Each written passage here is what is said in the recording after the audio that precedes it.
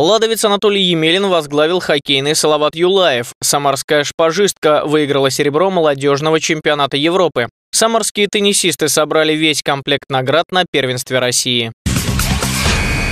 В Архангельске на первенстве России по настольному теннису самарские спортсмены выиграли медали разного номинала. В смешанных парах Мария Тайлакова и Егор Овчинников взяли бронзу. В личном первенстве Овчинников стал вторым, проиграв в финале Артему Двойникову, Республика Коми. Зато его партнерша Тайлакова завоевала чемпионский титул. Мария праздновала победу над питерской теннисисткой Анастасией Колиш.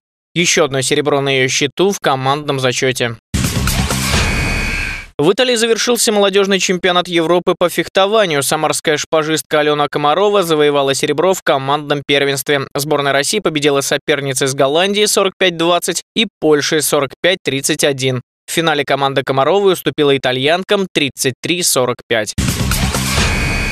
Бывший нападающий хоккейной «Лада» Анатолий Емелин возглавил Салават Юлаев, команду континентальной хоккейной лиги. В лихие 90-е Емелин в составе автозаводцев провел 8 сезонов, сыграл 373 матча, забросил 148 шайб.